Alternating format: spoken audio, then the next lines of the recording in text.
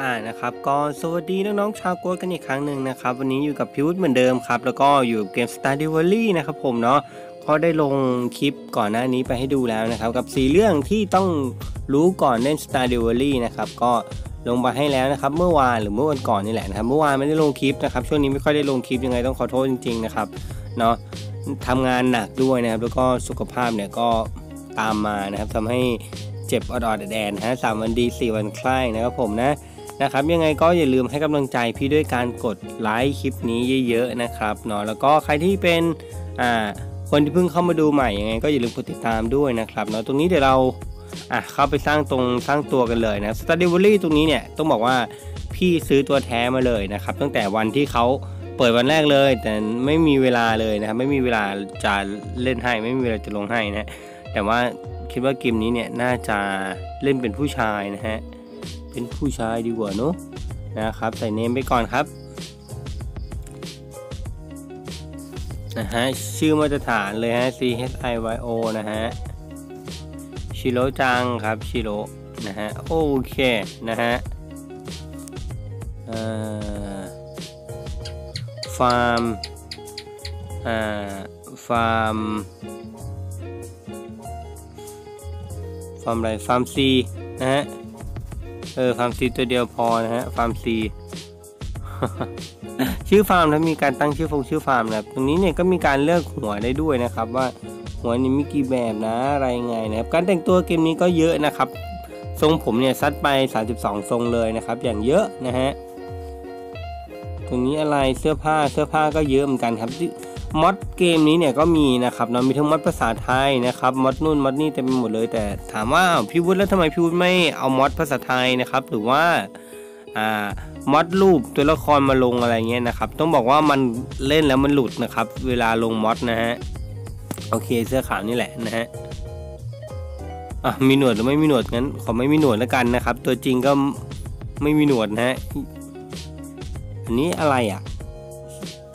สีผมสีตาอ๋ออันนี้เป็นสีตาเหรอโอเคเอาสีเดิมๆไปนี่แหละนะครับเนาะเดี๋ยวตรงนี้เป็นการสร้างตัวละครของเกม Star d e v a l l y นะครับเนาะนะเกม Star d e v a l l y เนี่ยคือเกมอะไรนะคือเกมปลูกผักทำสวนนะฮะอ่านะครับมันก็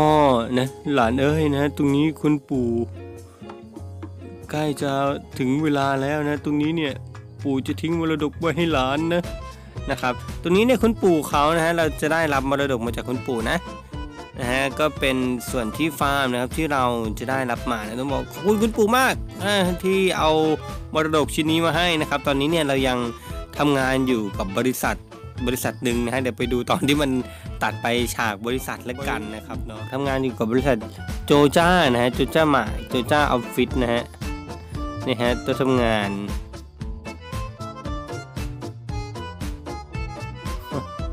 ทำงานดีจัดนะครับเป็นบริษัทที่อยู่แล้วมีความสุขมากนะฮะเขาบอกว่าอยู่กับโจจ้าแล้วชีวิตจะดีขึ้นนะฮะโอ้ยตายแล้วครับ ใช่เหรอ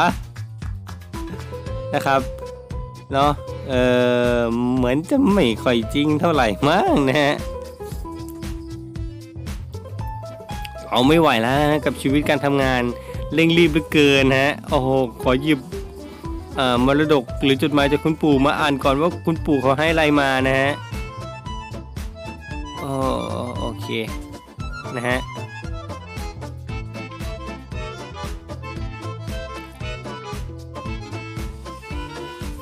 ครับหลังจากที่เราได้อ่านจดหมายจากคุณปู่นะฮะแล้วก็ตัดสินใจนะครับลาออกจากบริษัทโจจ้านะครับเขาบอกว่าอยู่กับโจจ้าแล้วชีวิตจะดีขึ้นนะครับเนาะ ก็ได้ตัดสินใจออกจากโจจ้ามานะครับ เพื่อมาอยู่ชนบทนะครับ มาเป็นพิวุฒิชาวไร่นะครับเนี่ยมีบอก Star Delivery 0.5 ไมล์นะฮะเนี่ยมีนกมาด้วยนะฮะ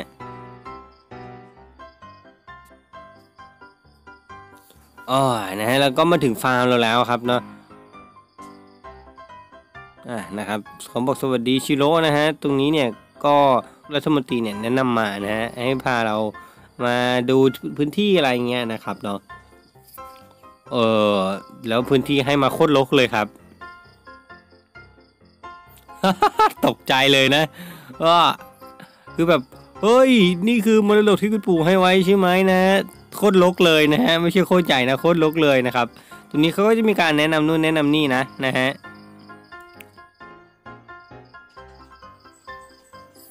โอ้ยนะฮะนอนตื่นขึ้นมาตรงนี้มีกล่องนะฮะ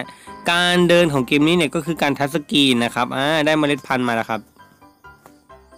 อ๋อตัวนี้ก็จะเป็น guideline ที่เขากำลังให้เราอยู่นะครับเนาะนะก็จะมี quest นะครับให้เราด้วยนะเกมนี้มี quest นะครับเนี่ยมีการทำความรู้จักกับ 28 คนในเมืองนะฮะแล้วก็มี quest ปลูกต้นมงต้นไม้นะครับ เกมนี้มี energy ใช้ energy ในการทำงานนะครับ หรือว่าเป็นพลังงานความเหนื่อยอะไรเงี้ยนะฮะ การเดินก็เป็นการแตะทัชสกรีนเนาะนะฮะ อ่า แล้วก็การเปลี่ยนคงเปลี่ยนของเนี่ยเปลี่ยนให้เราเองนะครับเนาะ แต่ว่าเราจะขุดเนี่ยนะฮะแบบขุดของบางอย่างเนี่ยนะฮะเขาก็จะให้เราเปลี่ยนให้เลยนะอะไรเงี้ยนะฮะ ตัวนี้ต้นหญ้าเนี่ยจริง ๆ มันมีประโยชน์นะครับ เวลาที่เรามีสัตว์เนี่ยนะมันจะต้องไอ้นี่นะแบบว่าเอาทำที่ในส่วนของการเก็บหญ้าอะไรเงี้ยนะครับเนาะ energy อยู่ข้างขวานะครับเห็นไหมนะครับ energy เนี่ยสามารถเพิ่มได้นะครับด้วยการ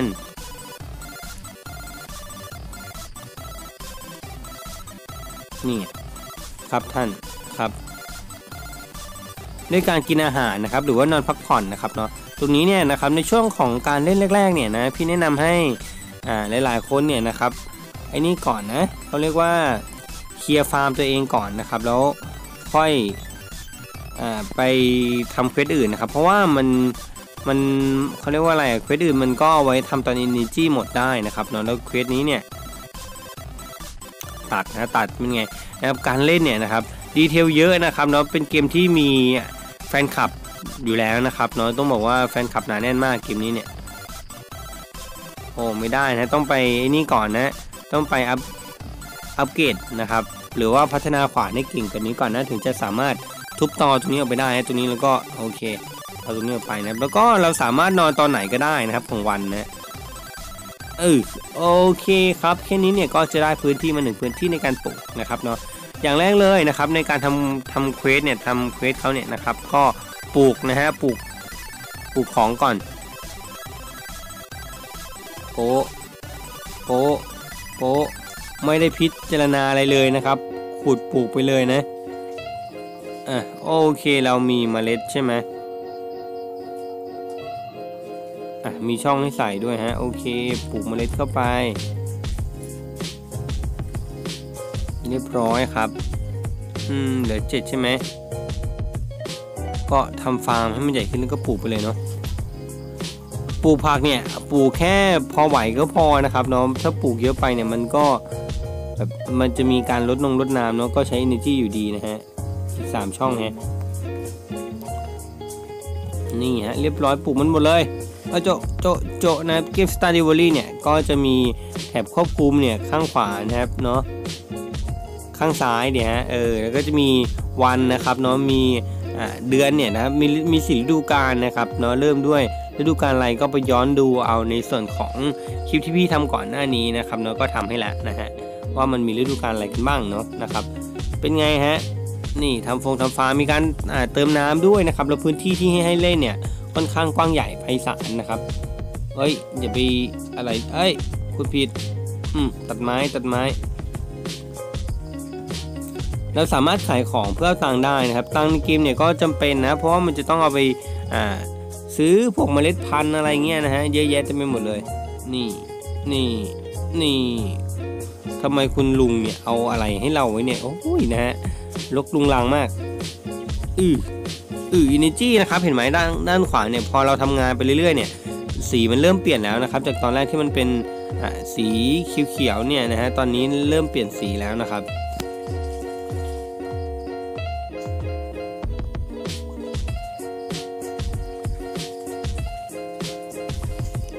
เคฮะ เดี๋ยวเราทำไว้เท่านี้ก่อนไหมนะฮะ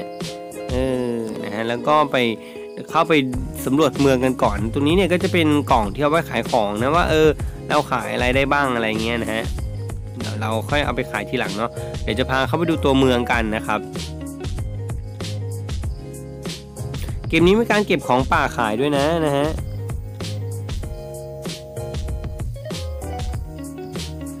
เนี่ยนะ ก็จะมีของป่าที่มันอยู่ในป่าด้วยนะ เราสามารถเก็บได้นะฮะ เห็นป้ายเห็นไหม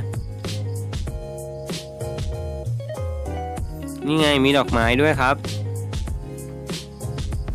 ได้ดอกไม้มาหนึ่งดอกครับ อืมเนี่ยก็สังเกตดีๆแล้วกันนะครับ ว่ามันมีตรงไหนบ้างเนาะ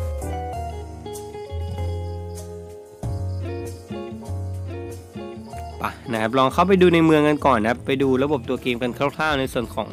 อ่า EP แรกนะครับเนาะว่าจะมีอะไรบ้างนะฮะแล้ว EP แรกเนี่ยก็เหมือนเป็นไกด์ไลน์แนะนำกันไปก่อนนะว่าทำอะไรได้บ้างนะตรงนี้เนี่ยนะครับพี่ไม่แน่ใจเรื่องแผนที่มันกดดูตรงไหนว่าแต่เกมนี้มีแผนที่นะ อันนี้เนี่ยก็จะเป็นแบบเข้ามาตรงภูเขาเนี่ยมีบ่อน้ำนะฮะ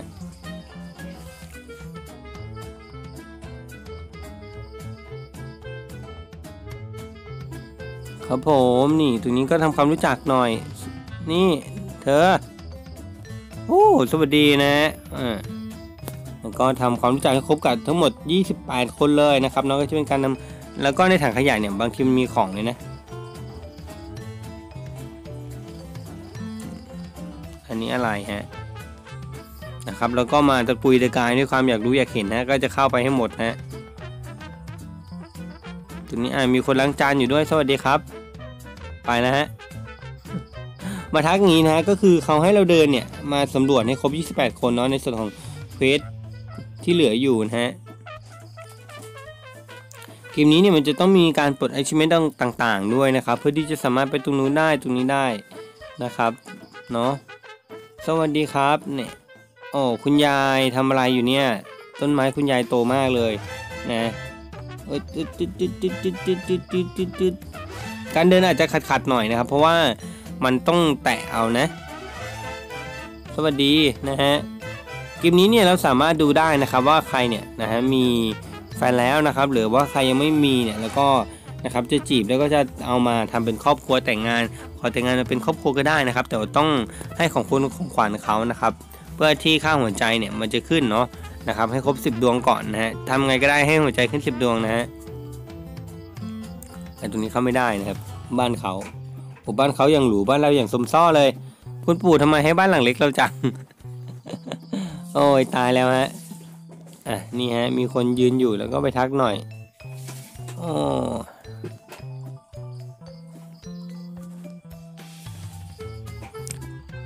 เนี่ยฮะเควสก็เพิ่งทักได้ 9 คนเองนะกว่าจะครบ 28 คนเนี่ยน่าจะต้องใช้เวลาเนาะ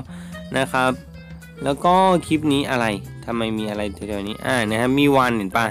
นี่ฮะตรงนี้เนี่ยนะครับปฏิทินตรงนี้เนี่ยนะครับมันก็จะบอกในส่วนของเดือนที่เราอยู่วันที่เราอยู่นะครับ แล้วก็อ่าแต่ละเดือนเนี่ยนะครับก็จะมีวันเกิดของ NPC แต่ละคนเนี่ยเราก็สามารถมาเช็คดูได้เลยนะครับ ว่าใครเกิดวันไหนนะแล้วอยากได้ค่าความสนิทมากๆเนี่ยนะครับ แล้วก็ เอาของขวัญมาให้เขานะในส่วนของวันที่เป็นวันเกิดเขาอะนะนะครับ เราก็จะได้ในส่วนของค่าหัวใจค่อนข้างเยอะนะครับเนี่ยเห็นไหมนี่ก็มีการซื้อขายของแล้วนะครับ ตังเติงเนี่ยก็จะมาละนะฮะเรื่องตรงเรื่องตังก็จะใช้กันมาแล้วเนาะเท่านี้แหละท่านเรามาแวะทักทายนะฮะทักทายให้หมดก่อนครับทักทายไปกี่คนแล้วนะ อ่าสิบคนแล้วครับ แล้วที่เหลือไปในหมดเนี่ย หายากเหลือเกินฮะ นี่ไงอีกคนนึง สวัสดีครับเนาะทักทักคนนี้เรายังไม่ได้ทักเลยนี่นา สวัสดีพี่ เอ้ยโจเอออะนะฮะตามเข้าไปก็ตามอะ มีบาร์ด้วยนะนะครับพี่คิดว่าน้องๆเนี่ยหลาย ๆ คนเป็นแฟนคลับ Stardew Valley อยู่แล้วนะครับแล้วก็จะมีพื้นฐานเกมกันพอสมควรอยู่แล้วนะฮะสวัสดีครับอ่ามีการขายเบียร์มีหมักเบียร์ขายด้วยนะ เกมนี้นะฮะเป็นการหมักในเกมนะครับ ไม่ใช่หมักในชีวิตจริงนะอ่าคุยกันได้ไหมคุณอ่าคุยกันไม่ได้ฮะ คุยกันไม่ได้ไม่คุยก็ได้ฮะ ยิงอีกอะเสื้อเขียวฮะเสื้อเขียว สวัสดีฮะเสื้อม่วงเสื้อม่วงตรงนี้สวัสดีครับ โอเคคุณป้า นี่นี่นี่มีคนนั่งอยู่ตรงนี้สองคนนะฮะ สวัสดีครับ สวัสดีฮะเออหัวล้อด้วย กี่คนแล้วเนี่ยสิบห้าคนแล้วนะครับเนาะก็ต้องตะเวนตามหาอย่างเงี้ยเฮ้ยเฮ้ยคนนี้ใคร สวัสดีพี่หัวทอง ตรงนี้บอกหมาไม่เห็นมีหมาเลยนะคอกหมาแต่ไม่มีหมานะมันเกิดอะไรขึ้น อ่านะฮะก็มีการเก็บ เอ้ยสวัสดีพี่ อ่านะฮะมีการตักน้ำด้วยนะเกมนี้บัวรดน้ำเนี่ยก็ต้องตักนะครับเนาะตัวนี้เดินเลาะๆขึ้นมาเผื่อเจอใครไหมนะฮะ สามารถแตะค้างที่หน้าจอได้เลยนะครับเนาะเพื่อที่จะเดินไปนะครับเนาะก็นี่มีการทำสะพงสะพานนะครับ เพื่อที่จะข้ามในส่วนของทะเลตรงนี้ได้นะนะครับโอเกมนี้ยังมีลูกเล่นแล้วก็ detail ค่อนข้างเยอะนะครับเนาะที่พี่ยังไม่ได้เอามาแชร์หรือว่าเอามาพูดกันนะครับเนาะยังไงเนี่ยน่าจะเป็นในส่วนของ EP ต่อไปนะครับเนาะที่จะเริ่มมีการเอาเทคนิคที่ละเอียดขึ้นนะครับเนาะหรือว่า เอา quest หรือว่าเอา mission ต่างๆเนี่ยเข้ามาแชร์กันนะครับเนาะให้มันดูค่อนข้างจะหนักหน่วงขึ้นนะตัวนี้แล้วก็สบายๆนะชิวๆกับการตามล่าหาผู้รอดชีวิตในเมืองก่อนนะฮะ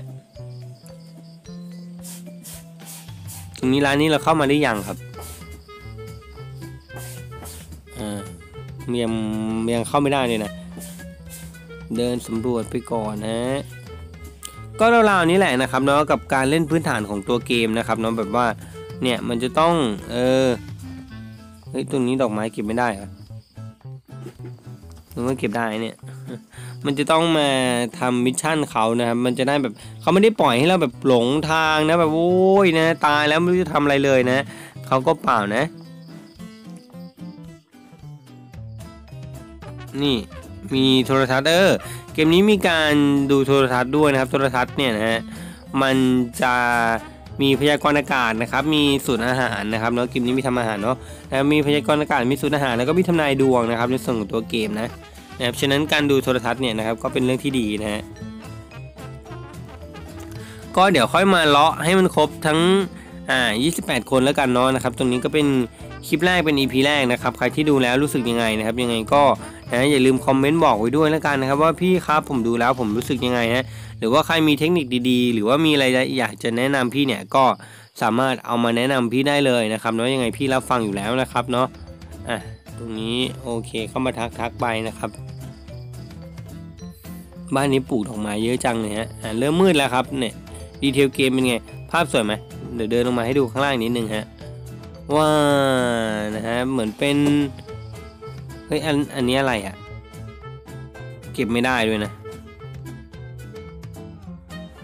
เหมือนเป็นเศษเหล็กเศษไอเศษที่ติดอยู่ตามทะเลนะนี่เห็นป่ะมันมีส่วนที่ขาดไปของไม้นะเนี่ยเขาบอกว่าต้องใช้ไม้ 300 นะครับ ในการต่อข้ามไปนะครับเนาะเออมีเปลือกหอยด้วยนะแต่ว่าเราเก็บเปลือกหอยไม่ได้อะนี่ฮะเดี๋ยวพาเดินมาดู ข้างล่าง ตรงนี้เกมนี้สามารถตกปลาได้ด้วยนะครับเนาะการตกปลาเนี่ยนะฮะก็จะมีการไปเอาเบ็ดก่อนนะอย่างแรกเลยนะก็คือเอาเบ็ดฟรีมาก่อนนะครับเนาะหรือเรื่องการตามหาเบ็ดเอาเบ็ดฟงเบ็ดฟรีอะไรยังไงเนี่ยนะครับเดี๋ยวค่อยมาเป็น EP ต่อไปแล้วกันเนาะ EP นี้เนี่ยก็พามาสำรวจเกมแล้วก็ให้ดู detail เกมคร่าวๆกันก่อนนะครับเดี๋ยวยังไงนะฮะวันนี้นะครับก่อนจะจากกันไปนะครับเนาะอ่าไหนลองบอกพี่วุฒิครับว่านะ หลังจากที่ดูเกมนี้แล้วนะครับ มีความรู้สึกยังไงกับตัวเกมที่เป็นภาพแบบนี้นะฮะอยากรู้มากๆเลยนะครับว่าชอบไหมนะครับเนาะรู้สึกยังไงนะครับ หรือว่าใครที่เป็นแฟนคลับ Stardew Valley อยู่แล้วนะครับเนาะก็ลองพูดกันมาดูนะว่าโอ้ยพี่ผมเล่นมานานแล้วนะครับเกมนี้เนี่ยต้องทำอย่างนี้ทำอย่างงู้นทำอย่างนั้นนะฮะอะไรอย่างเงี้ยนะก็สามารถบอกได้นะครับ หรือว่าคอมเมนต์แชร์ประสบการณ์ต่างๆได้นะครับ ตรงนี้ก็เริ่มมืดแล้วนะครับเนาะเออสี่ทุ่มแล้วไป กลับไปนอนกันก่อนนะฮะแต่ว่ามันมีอ่า energy อยู่นะครับ เดี๋ยวใช้ energy ให้หมดก่อนนะครับแล้วค่อยนอนนะ เราจะต้องนอนก่อนไอ้นี่นะครับ นอนก่อนตีสองนะครับ ไม่งั้นเนี่ย ตัวละครเรามันจะล้มฟุบไปเลยนะ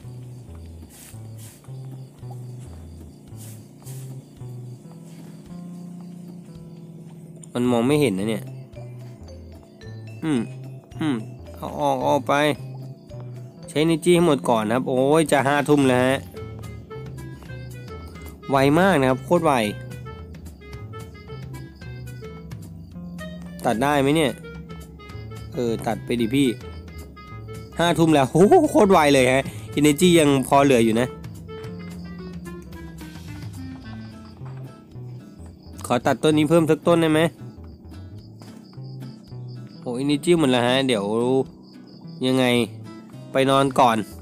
โอเคนะครับ คลิปนี้ยังไงก็ต้องขอตัวลากันไปแต่เพียงเท่านี้นะครับ ด้วยการนอนของเจ้าชิโร่นะครับ วันนี้ก็ bye bye แล้วนะครับ bye bye นอนไปเลย